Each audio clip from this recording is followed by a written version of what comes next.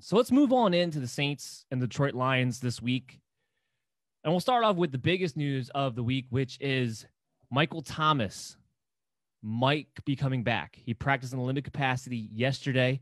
Usually, typically speaking, when a player practices on a Wednesday, it's a good indication. However, I still didn't rank Michael Thomas this week. And I might by tomorrow. I, like I said, I usually put my rankings in before the Thursday game, and then I'll update them again all the way through uh, Sunday morning when they'll they'll be finalized early Sunday morning for you guys before those games begin. But the reason I didn't rank Michael Thomas early this week is because I just I don't understand it. I don't believe they need to play him. So Detroit Lions, you can win this game without him. Number one. Number two, I and I know they're one and two right now, and that may be a big reason why they want to make sure they win this game. But you can still beat the Detroit Lions without him. Number two, this is still half the time that it normally takes for a high ankle sprain to be able to heal. Now, he may be feeling better than people expected him to. He may be recovering faster than people expected him to. But if I'm the Saints, I'm playing the long game here with Michael Thomas. I'm a Super Bowl contending team. You're going up to the Detroit Lions. Again, like I said, it's a matchup. I really believe you can win without him. Why not give him one more week? So I still have to be a little bit more convinced that he's definitely going to play this week, which is why I don't have him ranked. Now, having said all that, if you're Michael Thomas owner, you're going to be like, well, how much do you trust him if he does play? Here's what I will say. He's not going to be 100% out there. I, there's no doubt about that. But the fact that it's Detroit Lions, the fact that he's been pushing to get back, the fact that it's clear he's missed in the offense with Drew Brees, especially throwing the football, because he just doesn't look quite comfortable having to lean on Emmanuel Sanders and Tre'Quan Smith. You're going to have to play him. Will he be top five for me? No. I, he may not even come inside the top 10, but will he be a must play if he is out there against the Detroit Lions? Yeah, 100%. Are you going to take the risk a little bit that he's going to be a bit of a decoy? Sure. But he could be a decoy in the same sense that Mike Evans was a decoy, in which he still scored a touchdown. He was still a red zone target. That still could be a thing.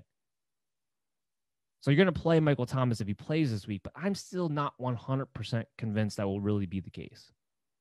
But we'll see. And we'll keep you up to date on Twitter if you have those notifications up. So that's the big that's the big storyline there that people want to know right off the bat. As far as the other wide receivers go, and we'll just start off with the rest of the Saints talking about them Emmanuel Sanders, Tre'Quan Smith. I know this is a great match against Detroit, and let's pretend for a second Michael Thomas doesn't play. I'm still not playing Emmanuel Sanders or Tre'Quan Smith. I know it's a great matchup, and one of them might do really well, but I don't think you can tell me with any confidence which one it's going to be. Sanders, is the one who had four catch, 54 yards. He's the one who came in with the touchdown last week. Tre'Quan Smith had a similar stat line, just didn't have the touchdown catch. I don't know how you play either one of those guys. The week before it looked like it was Tre'Quan Smith, and then last week it looked like it was a pretty even split between the two. What we don't know is what Jared Cook's status for sure is going to be. He got banged up in that game. We're gonna we're gonna have to watch the practice report carefully today and tomorrow to really be able to establish whether or not we think Jared Cook's going to be out there. Now, as far as Jared Cook, his fantasy value goes, I am not going to play him this week because if he is going to be out there, he's going to be way less than 100%. And he's already a touchdown dependent boomer bust type of tight end anyway. So I think there's other tight ends you can definitely go to. We have Jared Cook ranked as number 19 tight end on the week. So I'm telling you, there are better options out there available to you than Jared Cook against the Detroit Lions. I know it's a matchup you want to be able to play him against, but given his health status, given that he wasn't able to do much against the Raiders, even when he was healthy, I am not going to trust Jared Cook in this game. I'm going to take my streaming options elsewhere. But if he's not involved in this game, he's not active in this game, and Michael Thomas isn't active in this game, then Emmanuel Sanders might become, I don't know, a desperate flex play for me, but still just a desperate nonetheless. Will I have an easier time playing a Tre'Quan Smith or Emmanuel Sanders in a DFS tournament? Yes. That's something I would look at. But in redraft leagues, there's better options out there. There's better options on your waiver wire out there. So I'm not going to look to play Sanders or Tre'Quan Smith this week, even if there's no Michael Thomas, even if there's no Jared Cook. The big reason for that is because it's probably it could be a 100% Alvin Kamara game, just like the game against Green Bay was. I don't see why that changes. Latavius Murray could get 15 carries again, and Alvin Kamara could just dominate every other facet of the game. Obviously, he's an RB1. Obviously, you're starting him. Drew Brees, what does this do? Okay, so Drew Brees is on the road, and that always seems to be a problem for Drew Brees. However, being that it's Detroit, being that it's in a dome, he does have a history of doing better on the road when he's going to other domes, a la Atlanta, all those years. He does well there. So Brees enters the streaming territory because as long as he can dump the ball off the Alvin Kamara, we saw last week that he can still have a decent fantasy game, which is he did. He had three touchdowns. He had, I think, was about 275 yards in that territory. Didn't have an interception, played much better, looked more accurate than he did in week two. But the big thing was he was able to dump off half of his completions to Alvin Kamara coming out of the backfield. That's not going to change whether there's Michael Thomas or Jared Cook or anybody else on the field this week. That's going to be open all game long. Detroit cannot cover nor stop the run when it comes to running back. So I think Drew Brees is going to have a high floor against Detroit in this matchup. And you can play him as QB 15. He can be that streaming option for you. You can plug and play him this week. Because Detroit's the defense that just keeps on giving to all the fantasy owners and will continue to do so all season long. But when we look at Detroit's offense, Kenny Golladay, you got to play him. It's still a tough matchup. He's going to be matched up on Marshon Lattimore this entire game. So he does come in as somebody who might be more of a low end wide receiver two, high end wide receiver three for us this particular week. But you have to play him. You saw last week Stafford's going to go to him in the goal line situation.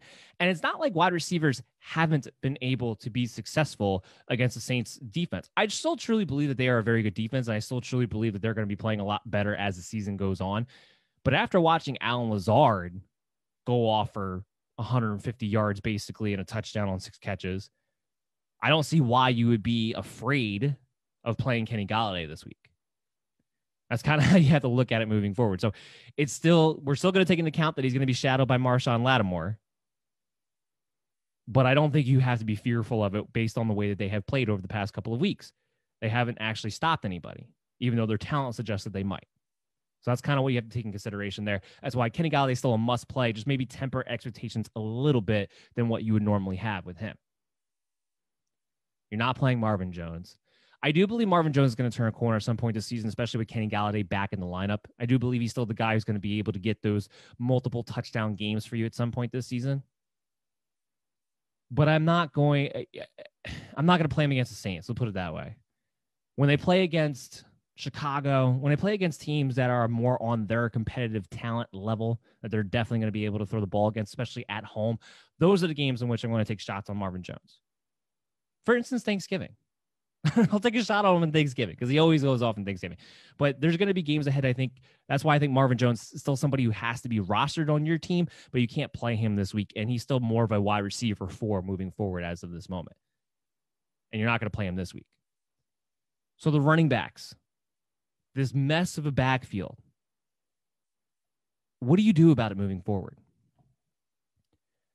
I have D'Andre Swift in a couple of redraft leagues. I have a hard time dropping him. And I did in a couple, and in a couple others, I didn't. And the reason basically came off of roster construction. If you need a roster spot because you need to pick somebody else up for whatever reason, you can drop D'Andre Swift. Now, he's not welcome to Flushtown for this show because Detroit is still going to get knocked out of this playoff race sooner rather than later. Once that happens, there's going to be no reason to continue this experiment, continue this onslaught of Adrian Peterson that they've been rolling out there for the beginning of this season. There's going to be every reason in the world to get ahead for next year on D'Andre Swift's development and seeing what you truly have out of him moving forward. So I do believe there's going to be a point in this season, maybe around week eight, week nine, where D'Andre Swift is going to start to take over for that reason. So that's why I'm still good with him being a stash if you have the ability to do so. If you're 3 and 0, 2 and 1 and you don't have a ton of injuries, or you're not getting killed by bye weeks that we were expecting popping up, he's still somebody I think you can stash, but if you have to make a move, you don't have you can drop him. That's why he's not welcome to Flushtown. Now, as far as this week goes, the only running back that I even contemplate playing would be Adrian Peterson. But again, this isn't a good matchup. This isn't a run. This isn't a Saints run defense that you want to go after. But he's the one getting the carries. And they talked about it this week, too, that they are kind of getting closer to the point where they're just going to kind of turn over the carries to Adrian Peterson, which means, you know, I told you back in week one, you should have dropped Kerryon Johnson, but I think we're going to see even less of Johnson from starting from this week moving forward. That's what it sounded like to me. D'Andre Swift is going to be involved because he's still going to be the main pass catcher when they get in those situations. And that could be this game. He could be involved in that capacity. I'm not going to play him though. But Adrian Peterson's probably going to get 18 carries in this game, minimum.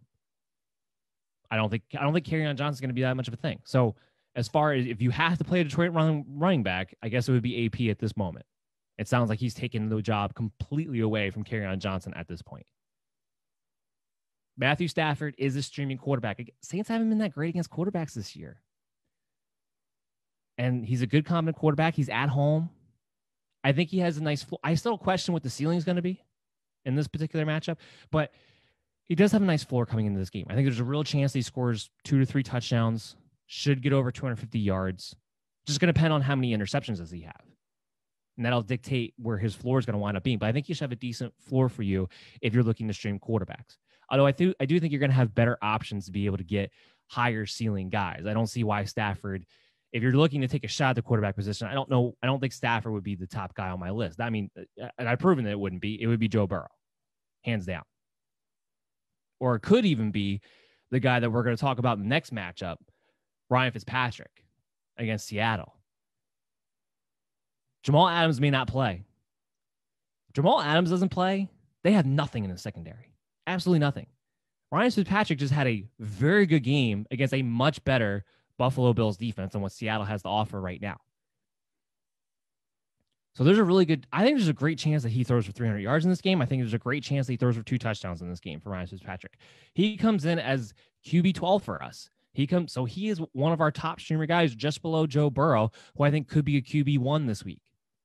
I'd rather have a Ryan Fitzpatrick than the Matthew Stafford. Just kind of throw that one out there. He has a much higher ceiling. Love DeVante Parker. DeVante Parker, this is going to be the week that we see remnants from last season. DeVante Parker is going to finish as a wide receiver one. I have him as number six on the week.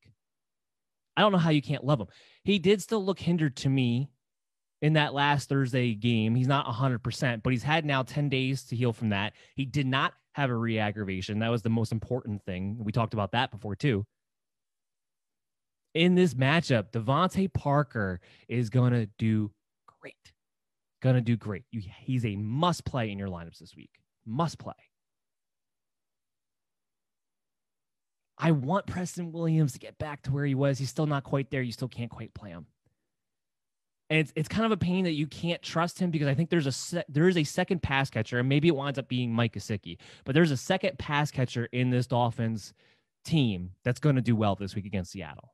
There is. I wish it could be Preston Williams because I love this guy's talent. I love what he could be moving forward, but he's still not a guy you can roster in fantasy leagues yet.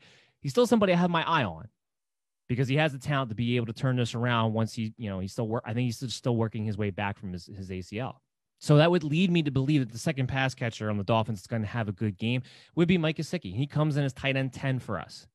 He's the reason why I don't think you need Jimmy Graham. He's the reason why you don't need to stream Dalton Schultz. He's the reason why you don't need to stream Drew Sample. Mike Gesicki is somebody who he's a little bit over the 50% mark, so he wouldn't make like the quote unquote waiver wire report. He wouldn't be widely available to you guys, but he is somebody who is surprising, who is still surprisingly available in a number of leagues. I think the number is around 35% available. So check your teams, check your leagues. He might be available, surprisingly. But he's definitely a must play for me. He's definitely a low end tight end one for me in this matchup. He's not playing as a tight end.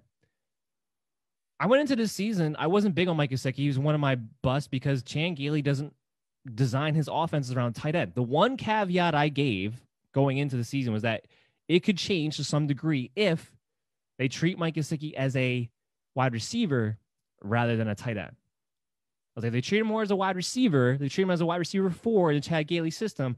Then it was like, then I will have confidence that he will have a better chance to have a decent stat line. I still have questions about why he doesn't get more separation. I still have questions about why he can't be better after the catch. So I have questions about his overall ceiling because of that. But he can be decent, especially as a tight end position. And that's what's happened. He's playing more as a wide receiver than he is a tight end. He's hardly ever asked to block. He's hardly ever lining up on the end of the tackle. He's usually standing up, split out wide. And in this matchup, like I said, a game which the Dolphins are going to have to score points. We all know that. Gesicki is a safe bet to be a low end tight end one. And I think he's going to be the second best pass catcher to have on the Miami Dolphins in this game.